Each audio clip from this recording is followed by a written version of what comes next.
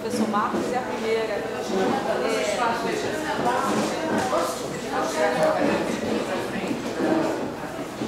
Aqui, pessoal, é o auditório do Solar dos Belos. Essa casa aqui é uma casa do final do século XIX que há 11 anos, esse ano, completa com a missão de ser o museu da cidade de Macaé. É, é um museu pequeno para as nossas concepções de museológicas, né? aquele imaginário que a gente tem dos centros históricos mas é uma casa que registra cada dia mais a afeição do cidadão pelas coisas da cidade. Então, quando a gente olha para vocês hoje, particularmente eu, Mônica, Raul, Bruno, Alice, a gente olha para vocês assim, nossa, eu não conheço todo mundo.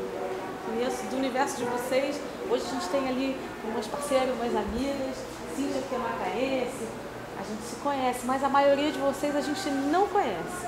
Isso para nós, assim, a gente ganha o dia ganho dia, porque vocês estão vindo a um lugar que não é muito costume de vocês. Então, a missão no solar de segunda a domingo, ela está se cumprindo. Em ser um momento, um espaço da cidade onde a gente passa, acha bonito. Todo mundo que vem aqui pela primeira vez fala isso. Parece uma caixinha de joia, que casa bonita, mas muitas vezes não se sente à vontade para entrar num espaço como esse. Esse projeto que o professor Marcos e as meninas estão ocupando com a fotografia, esse ano tem um ano, um ano não, dois anos, que a gente se apropriou da cultura de quintal. Que era um espaço que a gente tinha aqui, eu sou funcionária da casa já tem 10 anos, e eu sou Gisele, hoje coordeno o grupo. É, era um espaço que a gente estava colocando carro, enquanto funcionário. E confesso a vocês que a gente colocava carro pelo mal-estar das cidades que crescem, mas a gente junto sentou e disse assim, não é lugar de botar carro. É lugar de trazer aquele cidadão que nem que seja esperar um pouquinho de tempo no centro, nem que seja trazer um velocral da criança, nem que seja ler o jornal ou reunir uma rapaziada que o Raul, Raul tem trago aqui dos mais velhos. Porque hoje o Raul é responsável por toda a documentação oral num projeto chamado Memória.doc, que vai acervar toda essa perspectiva de uma memória numa sociedade que precisa ser registrada. Daí esse moço ficar com essa máquina, ficar com esse, com esse instrumento que vocês dominam tão bem. O Raul hoje é uma das maiores feras que, que a gente tem no registro do jornalismo, da documentação, mas ele hoje está conosco aqui já há dois anos para dividir essa máxima e essa responsabilidade com a gente. No mais, o César Melo, aquele moço que vocês viram aqui, aquele senhor que está registrado aqui, o proprietário dessa casa, parte por volta dos anos 50 e ele é um grande responsável pela historiografia, pelo registro. Ele herda uma padaria, ele herda um jornal, então ele é um comerciante acima do seu tempo, mas ele também é um jornalista. Ele herda o jornal Inseto, uma das grandes publicações do município nos anos 50 e esse fim desse jornal no final dos anos 80. É, o César Melo deixou um manuscrito, a qual a gente estuda aqui há 10 anos, porque quando essa casa é comprada em 94 pelo Poder Público, ela está muito maltratada pelo tempo, pelo desgaste. A gente que já passava aqui há 10 anos atrás, há 11 anos atrás, a gente tinha uma senhorinha que era a última filha do César Melo, que era a dona Noêmia, uma exímia costureira, que fazia as saias plissadas da Macaé. É, quantas senhoras entram aqui e dizem, entrei aqui, é, vinda pela minha avó, ou para fazer as saias que a gente usou lá nos anos 70, aquelas saias plissadas. A dona Noêmia era fera em fazer essas saias. A dona Noêmia vende a casa, o poder público a compra e deixou muitas coisinhas aqui que eram registro da casa. Por mais que ela fosse uma senhora muito humilde e já muito castigada pelo tempo, deixou algo, deixou registros, deixou cartas, deixou baús, deixou instrumentos de corte, que ela era costureira, mas ela deixou as cartas do César Melo. Ano passado, quando a gente comemorou 10 anos do Solar dos Melos, a gente colocou as cartas do Solar do Melo para fora. A Cláudia Barreto, que é responsável pela curadoria, a Mônica, que é responsável por toda a constituição de imagem do design do Solar, facilitou a gente, quanto historiador, de apontar o que, que o César Melo tinha dito. E revelou um César Melo apaixonado pela família, um conhecedor da cidade como um todo, amante do mar. E ele dizia que todo macaense é praeiro, e a gente entende isso muito bem, porque a gente tem um hábito encantador de olhar para o mar. É, quantos de nós no domingo de manhã ainda leva filho para ver o mar?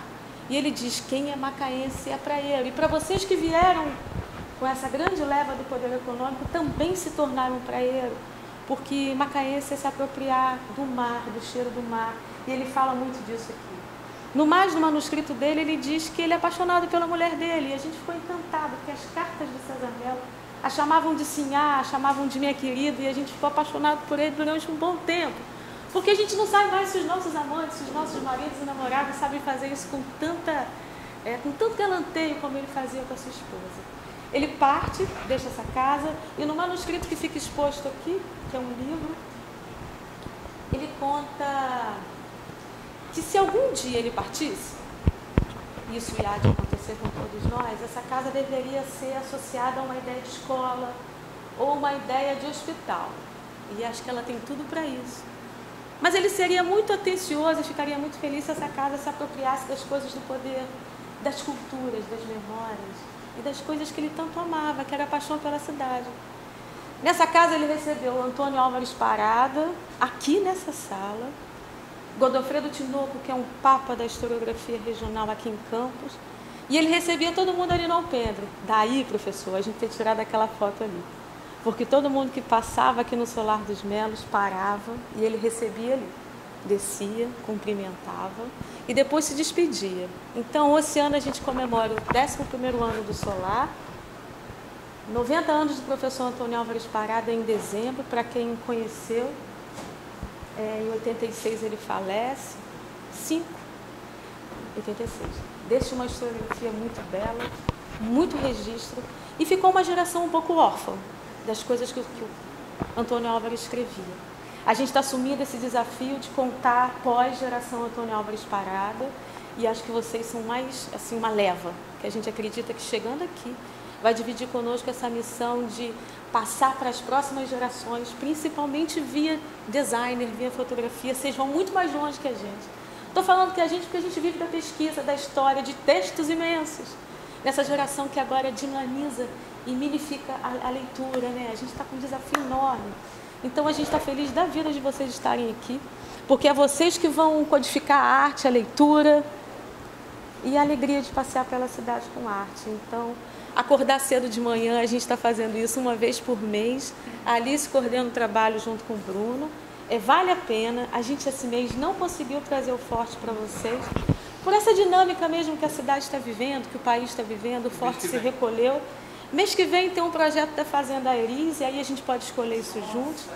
Tem a Atalaia e tem o Forte que está aberto. o comandante tem sido muito atencioso. É, o comandante abre aquele, aquele cofre lá, assim, aquela riqueza lá, com muita propriedade. Eles fazem questão que a gente passe lá cumprindo as regras dele, tem que chegar na hora, o, o ônibus tem que chegar na hora que ele gosta, estaciona do lado, Militar. a gente está ficando Sim, afiada. Mas ele deu para nós assim, Liz, tem hora, que lá em Santana tem missa, o padre não gosta que a gente chegue assim, com short, com boné. Então a gente tem que atender e aquela máxima, né? Vamos se comportar conforme o nosso convidado. então o projeto tem dado muito certo, porque a gente tem seguido a risca o que os nossos convidados, os nossos parceiros seguem. Então, em Santana, pode ser que o padre peça para a gente fazer barulho. Esse pessoal aí lá do Solar de Melo faz um barulho danado. E aí, mas eles apresentam um espaço que é o lugar de memória.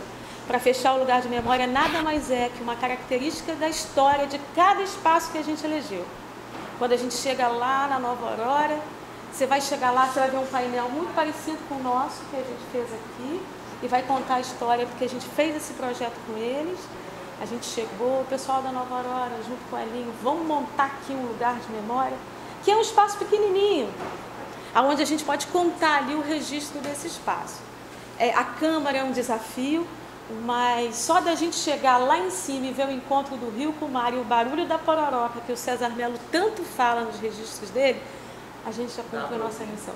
É, a gente aqui estuda o César Melo há X tempo. Eu sou uma estudiosa, Alice também. Quando eu cheguei lá, eu fui à Câmara, eu sou macaense, como uma, como uma grande parte de vocês aqui, e sou estudiosa dos manuscritos de César Melo. Ele fala do ronco da pororoca com uma propriedade. Eu falei, é possível que. E quando a gente abriu a, a casa e olha para o mar e vê os tons pastéis que vocês dominam para chuchu dos barcos, E a gente explora tão pouco a cor do barco, os tons pastéis que os barcos têm agora, nessas primeiras horas. E quando a gente olha assim, rapaz, isso aqui é o ronco da paroroca do César Melo, ele é encantado. Você ele ouve, diz que não não. escuta. Você ouve, mas não escuta. Que é o poder que vocês têm. Né? O sentir o cheiro, sentir coisas que, as, que vocês têm. A gente também tem enquanto. Sim. Mas vocês chegam mais rápido. Eu, eu sempre acredito que a imagem ela vai antes. Então é isso, explorem os tons pastéis da fotografia, os barcos, ali tem som, ali tem forma, ali tem lustre, mas é um lugar que a gente ainda precisa chegar com mais afeito. Porque você ainda vai perguntar, e essa escada quem fez? Esse lustre é do tempo? Não, ela ainda tem muita descaracterização. Mas a Câmara tem sido muito atenciosa da gente chegar lá e fazer ali um lugar de memória.